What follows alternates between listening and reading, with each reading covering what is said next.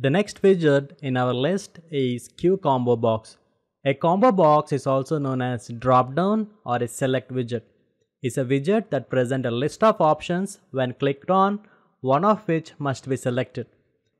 QComboBox can optionally allow the text input for custom answers by setting it to the editable properties to true. Now let us create the QComboBox in PyQt. Alright, now what are we going to do? Here comment this again. And let me create combo box. Okay. And now create the combo box equal to qtw.QComboBox of self.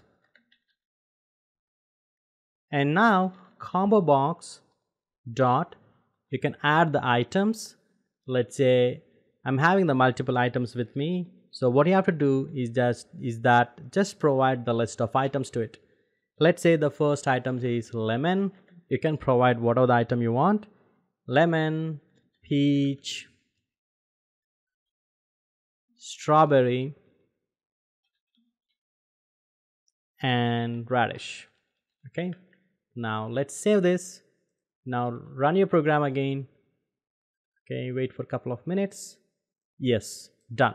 Now here you go. You can see that we have the list of items out there and we can select whatever the thing you want. You can really select this. This is how we can populate combo box in PyQt. I will see you in the next lecture. More on this. Until then, happy learning.